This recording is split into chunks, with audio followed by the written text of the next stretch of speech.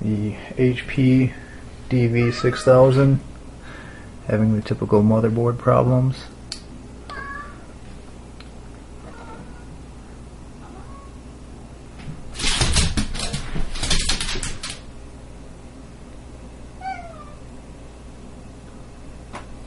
Absolutely nothing. Wants to turn on.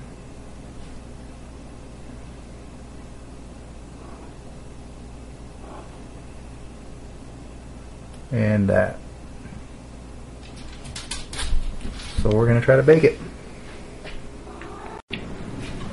DV6000 motherboard, stripped down.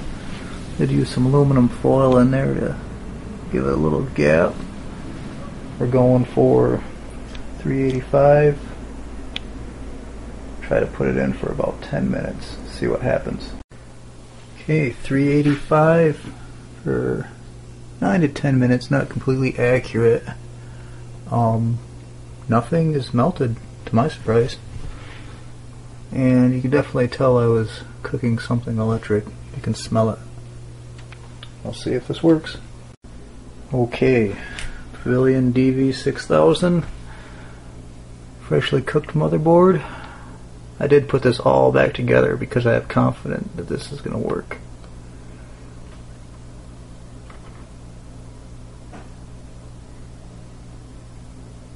Maybe.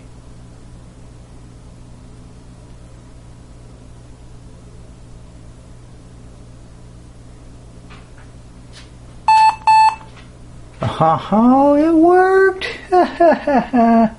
Lovely. That's 385 at 10 minutes. We'll bring your DV6000 back to life.